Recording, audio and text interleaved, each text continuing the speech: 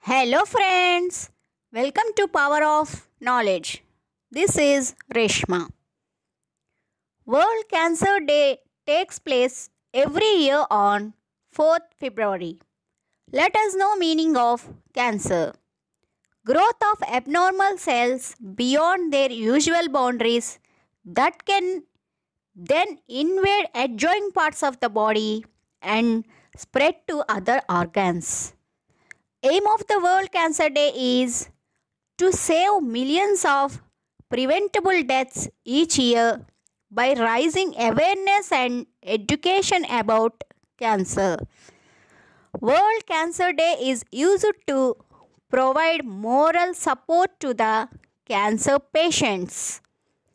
World Cancer Day targets misinformation, raises awareness, and reduces stigma.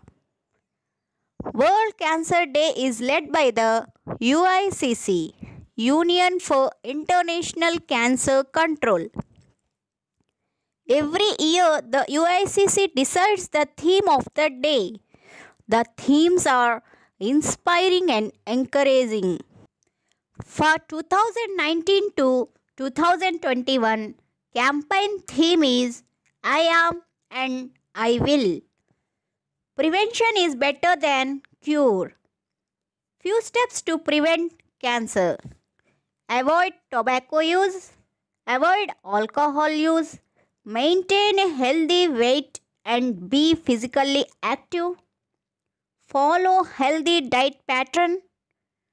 Don't expose of natural and man-made radiation sources. Get immunized HPV and hepatitis vaccines. Health is the greatest gift of life. May God bless all of us with that greatest gift. Thank you.